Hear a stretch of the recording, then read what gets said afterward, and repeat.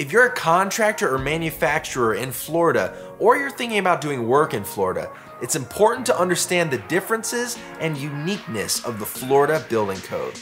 That's what we're talking about in today's Q&A Monday.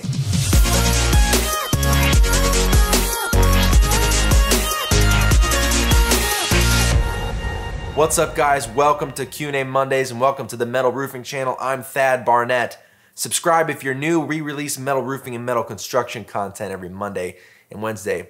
Today we are talking about Florida Building Code, how it's different, what its requirements are, and what you need to know as a contractor doing work in Florida.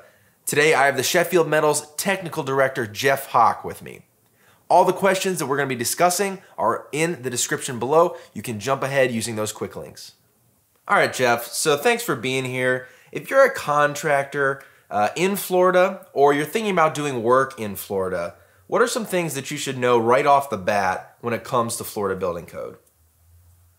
Well, I guess the the probably the main thing you should know is what the engineering requirements for the area that you're going to be looking for Florida, you know, it's basically broken into three different parts as far, you know, as far as different uh, requirements. You have Miami-Dade County NOAs, which is basically their own animal. Uh, then you have Florida Building Code, which is separated into uh, non-high velocity hurricane zones and then high velocity hurricane zones.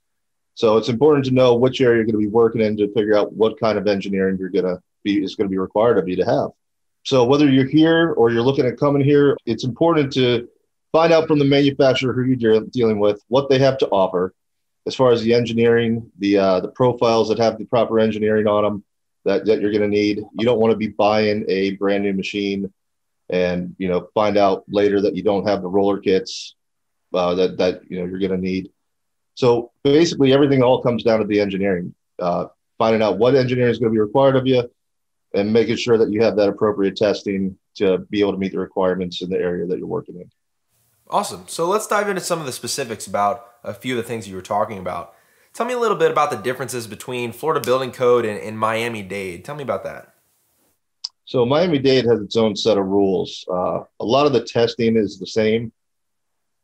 The main difference between Miami Dade's testing that you have to have in the Florida Building Code for high velocity hurricane zones is Miami Dade requires impact testing. So ASTM E1886.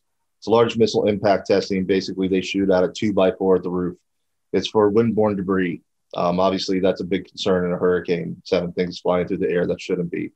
From the testing standpoint between HVHZ and non-HVHZ is HVHZ basically, uh, let's start with non HVAC. Non HVAC, you have to have a UL 580 uplift test.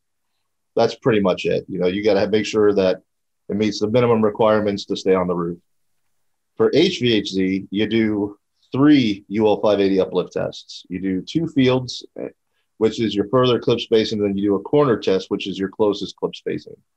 A lot of times in the high velocity hurricane zone areas, your roof is going to be broken out into perimeters. So you'll have your corner zones, your perimeter zones, and then your field zones. And that'll be, you know, what those spacings are going to be is going to be based on the testing that you have and the, uh, the design of your roof. So basically, you have the three UL 580 uplift tests, and then you also have what's called TAS 100 testing, which is wind driven rain. Uh, that test, they have a big prop airplane engine, and it shoots water, and it simulates 8.8 inches of rainfall an hour of wind speeds up to 110 miles an hour.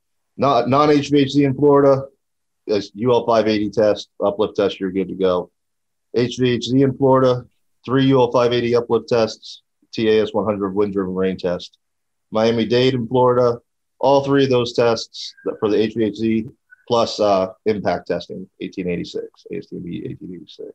It's kind of good, better, best in terms of uh, the testing standards that are going to be required. Definitely. And for those of you that's been uh, following the channel, we've mentioned Miami Dade a few times. And one of the times that you can hear us talk about that is in our Cayman Islands video. Check out the link in the description for that. Um, Jeff, the Cayman Islands uh, after Hurricane Ivan hit in 2004, they started adopting some Miami Dade principles and really started using it as a basis of design. Can you tell me why someone would want to do that or, or, or why, you know, kind of what their thinking would be behind, you know, choosing Miami Dade as a basis of design? Well, as of right now, uh, Miami Dade has the most stringent engineering requirements of any code enforcement uh, approval certification body that there is. So if basically if you're specifying a, a Miami-Dade NOA, you know that they've done pretty much every test that you could think of that would be applicable to your roof system. Again, just because you have a Miami-Dade NOA or a FBC approval number, things like that, you still need to make sure that the uplift pressure, the test pressure uh, or design pressure is going to meet the needs in the environment that you're in. I can have a test report that says I have, you know, a negative 106 design pressure. And that's a good design pressure, but is it good enough for the area that you're looking at installing in? You can still have the certification or approval, but that doesn't always mean that it's going to meet your uplift requirements. The wind driven rain, the impact testing, things like that, that's all pass or fail. But the variables come in when it comes to the uplifts and the design pressures that the panels actually reach. And I assume that if we look at this from the opposite end of the spectrum as well, if we're a contractor that's used to the stringent requirements of Miami-Dade, if we wanted to do work, you know, outside of Florida, we could pretty much handle anything if we're if we're used to that, if, if it's the most stringent. Yeah, absolutely. And you know, again, when it comes down to having, you know, the the three uplift tests that we talked about, you have your corner spacing and you have your field spacing. So, you know, with those with those types of numbers, you can pretty much meet whatever you have to. So say you have a two foot clip spacing and a six inch clip spacing. Those are the two, two spacings you tested at. Uh, you have a design calculations done on your building with, with having the 24 and the six inch spacing, they can interpolate the numbers, um, basically figuring out how it would perform at 12 inches and 18 inches. So you might not have to put your clips at six inches on center because that would be too much. You might be able to get away with 12 inches on center because that's the design pressure you would need to meet. Sure. But having having those uh, numbers spaced out, you're able to determine how it's going to perform, you know, at different spacings in between. So what does this mean when I'm talking to a manufacturer and I need to order coil, accessories? Uh, what should that conversation be and how would this affect that? Again, you're going to have to check what the spec is calling for to make sure that you can meet the specifications of the of the spec. You're going to have to make sure that the system that you're purchasing, whether it's you know you're going to be buying pre-made panels or you're going to roll them yourself and you're using the engineering that's you know provided with the coil from the manufacturer you're purchasing from you want to make sure that their engineering is going to meet the requirements of the job. But when it comes down to actual parts and pieces you want to make sure that you know the gauge of the material is what was tested. Your panel width can't be any wider than the panel that was tested. So if you tested a 16 inch panel you can't use an 18 inch panel. You need to make sure that the screws that you have are the screws that were used in the test. You need to make sure the clips you have or the clips that were used in the test. And you know, if there's any accessory items as far as having to have sealing in the seams or things like that, uh, you, you know, it basically everything has to be installed per that test report. So you want to make sure that the items you're getting are matching that test report. Now, is there a difference between commercial projects and residential product projects when it comes to Florida building code and requirements like that? Uh, to my knowledge, if you pull a permit, you have to meet Florida building code. So you're going to have to have something, you know, saying that you know you can meet the requirements for the area that you're pulling the permit in. Quite honestly, not only if you install it per Florida building code and you use the proper engineering in that area, you know, it really protects not only the homeowner. Obviously, they know they're getting a system that's correct for the area that they're in, but it protects the contractor as well because he has something to back up the installation that he did you know, this test report says that if I put my clips here and I use these fasteners with this width panel, that that's how it's going to perform. So it's not, again, as we talked about in the testing video we did down at the lab, there's no guessing. We know how it should perform. You know, all these five UL 580 uplift tests have a 50% safety factor built into them. So there's quite a bit of error that you can have, and the roof should still perform the way it, the way it was tested. You mentioned something earlier about panel profiles. Talk to me about uh, choosing the right panel profile for the area. Not all panel profiles are made equal. They're just not. Certain panel profiles are going to perform better under testing, uplift testing than others. They all perform pretty well under the wind driven rain testing or 1646 water penetration testing. You know, snap locks, you know, there's a test called ASTM E2140. It's a submersion test uh, where they basically submerge the panel under six inches of water. I don't know of any snap lock panels are gonna that are gonna pass that test. So, you know, slope comes into play as far as which panel you're gonna pick. But again, it comes down to the panel and how it was tested and what the design pressures it got. Um, certain panels are definitely stronger than others. You know, if you look, you compare the inch and a half snap lock 450 compared to the inch and three quarter snap lock. Just the panel design itself is going to lead to the inch and three quarter panel being stronger when it comes to uplift resistance. It has a continuous lock going all the way down the panel, plus you have the clip that's holding it to the deck. The 450 snap lock panel actually snaps onto the clip. So your the strength of that panel is completely determined by clip spacing as far as the attachment of the actual snap engaging goes. So the pa- different panel profiles are going to perform differently under different tests or under the same test standards. It's again based on profile of the panel. Um, gauge has a lot to do with it. That's why I say, especially if you're looking at purchasing a machine or something like that, you really want to make sure that the panel profiles you're looking at getting with the machine are going to meet the engineering requirements for your area. That has to be one of the main considerations when you look into buying a machine. Because if you end up buying panel profiles that don't meet any of the requirements, then you're just out a lot of money for for nothing, basically. Correct. And you know, it's uh, it's always easier to do it right the first time than it is to try to go back and do it a second time manufacturers are there for that reason. You know, if you were able to call us up, you know, we tell you what engineering we have on certain profiles. You can see it right on our website. You know, we have it between engineered and non-engineered systems. Um, it's always good if you have any questions, talk to the manufacturer, and then they can help steer you in the right direction.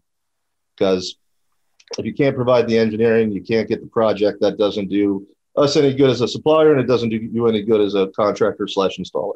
Yeah, tell me more about the importance of having a good relationship with your manufacturer as a contractor, especially in an area like Florida.